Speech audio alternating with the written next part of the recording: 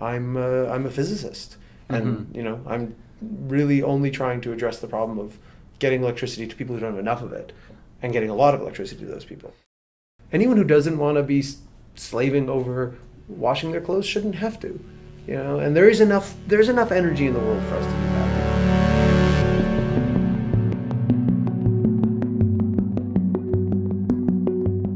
I internalize a lot of the dynamics in in our world and it, it becomes overwhelming and art is a way that I can I can like filter it through my own lens and make sense of it in my own way by reiterating it. The image at the center of my piece is one of an African woman milling grain with a pestle and mortar. And this has to do with uh, my innovator's origin story of why he got into the solar technology in the first place. He was working with Doctors Without Borders in Africa.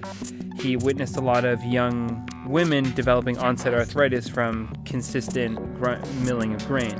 And he felt that if he could get electricity at a level that's cheap enough and accessible enough, then he could mitigate these types of suffering. And I find that a really beautiful starting point and origin point for his story and for where he's coming from, but also for where I'm coming from thinking about energy and technology and this intersection of the two. The energy consumption that we have right now, our lifestyle is part of our identity, and identity is formed over decades and decades and decades. And it's like, how can you get a whole population to switch their identity? And I think that could be found in like through innovation, but innovation that that that changes our basic behavior.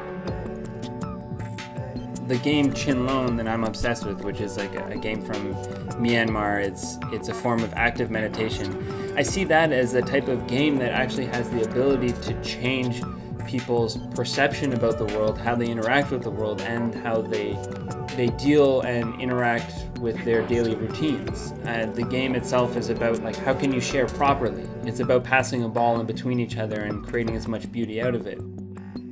I keep getting a relation in my mind to a famous painting by Delacroix. He's a French artist, and there's a painting called uh, Lady Liberty Leading the People.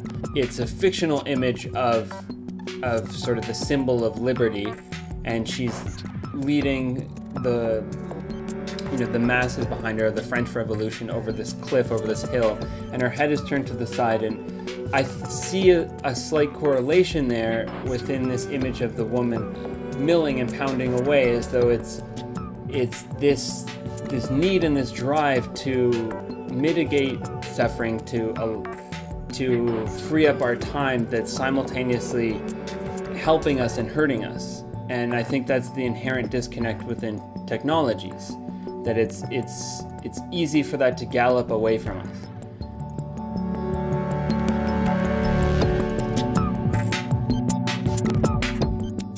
I, I consider myself to be massively privileged. Some people wouldn't be able to start a company because the notion of, of bankruptcy and failure is just too much to take. Uh, but if I go bankrupt, I don't think I'll I don't think it'll bother me that much. And so I'm you know able to just kind of make bold steps.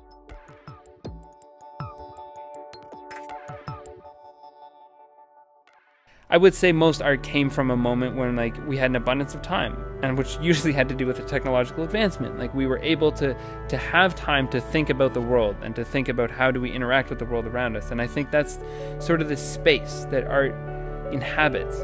And the more I've I've worked on this project, the more I realized that in our part of the world, and the fact that we have such a privilege for having the abundance of materials, resources, time that we were able to innovate. This image keeps coming back to me of, of sort of these light towers, which are going to be made out of the um, refuse material from his old solar panels, but lit up from below, they, they'll kind of feel like these, these moments of innovation that are kind of flowing out of this abundance of material.